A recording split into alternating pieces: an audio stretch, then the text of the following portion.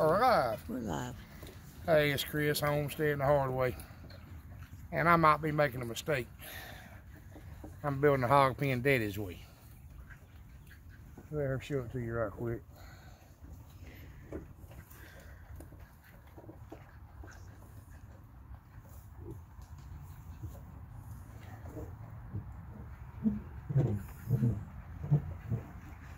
This is the old way to build them. The way you used to build them back 60, 70 years ago.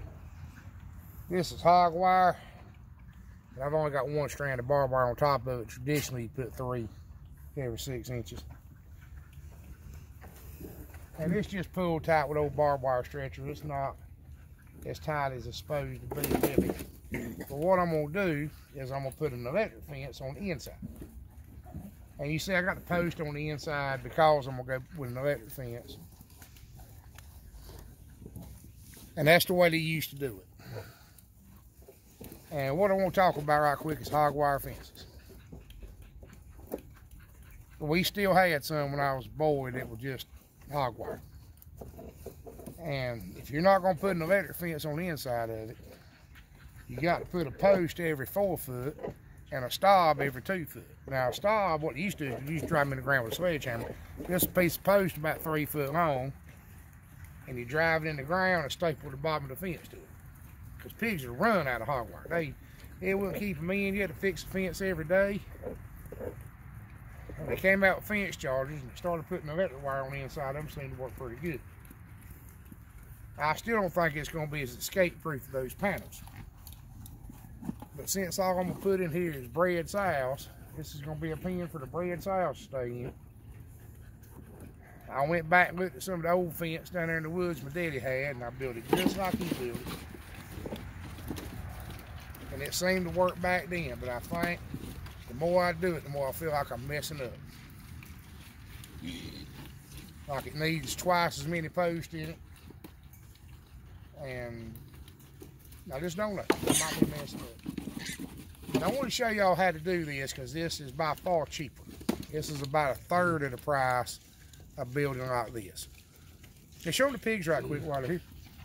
This is the youngest litter of pigs. And I know we got a viewer or two that uh, wants one of them. They might watch this video so they can get themselves a little uh, view of the pig. Well, you know, your fence might be just right for some of the smaller pigs. Well, no, that, it's the other way around.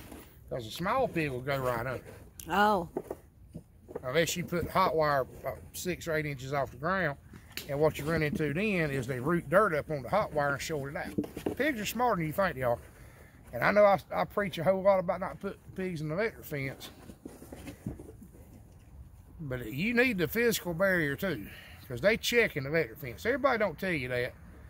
And I've come to the conclusion that a whole lot of what you see on YouTube is just I mean, I hate the sound of it, it's just people don't know what they're doing, trying to tell. It's the blind leading the blind. But pigs check electric fences. They can tell when it's on. I don't know if they can smell it. I can't tell you the science behind it, but they know when that fence is on. And all you got to do, I've seen it happen. This happened here, because we used to have sows and just an electric fence here too. But uh, you cut that fence off to work on it, they know it's off. They don't, they're not watching you. They're not seeing you touch it, assuming they're off, but they know it's like instinct. The minute you cut it off, they know it's off. And they'll walk right out. You know, we've got that perimeter fence there. It's kind of a backup in case something gets out. And yeah, I mean, you can put pigs in three strands of wire like that until it's not working. You let a hurricane come along, the electricity go out and they'll be out. And that's what I'm worried about here too. I'm scared that the minute we lose power, I'm going to have to come out here and put a generator on the electric fence. But anyway, just a little quick. Something might help you. And I appreciate you watching. And remember, you never fly a field, turn it over to your mouth.